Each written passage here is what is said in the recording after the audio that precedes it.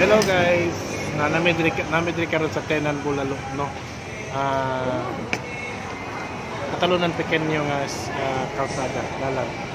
So may mga bata dito si Mrs. Kaya nga order ni with the whole family. Uh, along National Highway, Katalunan Pequeño. Inani may mga on basta sa gawaso. Nani. Basta ano.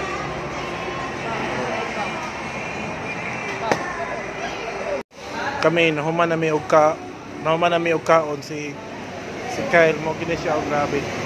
Makakaon. Puro.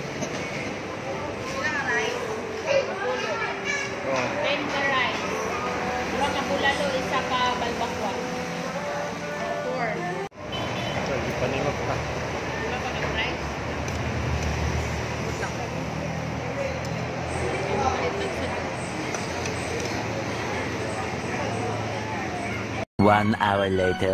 Tumawa si Kyle. Dugang po siya. Dugang na po siya rice. Okay, mo ang Katalunan Pequeño Branch nga Tenan Bulalo. Oh. Diba? Din ako sa area. Around 2 p.m. na karon ka nakasila tao. Mo ni lang area. Hi! Oh, muna na sila sa sir. Arito yung mga kaldirong dagko luwas. Ah.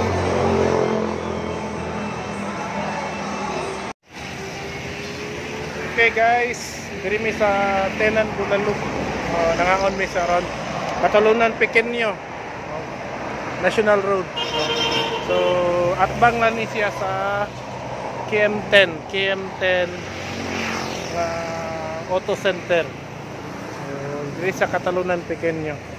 Kami kay sila diri. Away lang area dia. Oh. Ilang mga dagkong katre, ilang dagkong katre, dagkong nga kaldero. Dia, kung gusto mo mo kuan, mo anay mo kaon. Diri lang national oh, national highway lang ni. Dito sa Ulas Dapit.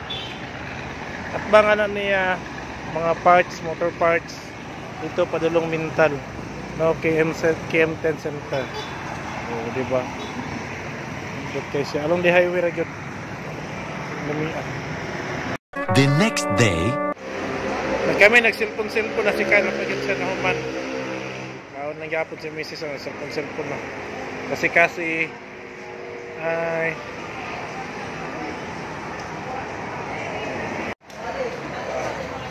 Yan naman na niya sa tubig yan kuya na na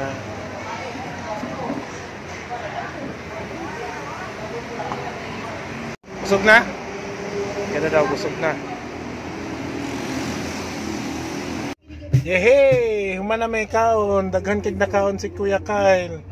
Na si kasi Mama ay sa si Missy sige na tubag cellphone ay.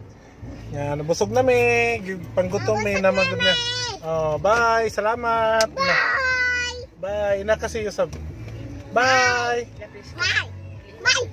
The best ka, the, the best ka, Tenan Bulalo.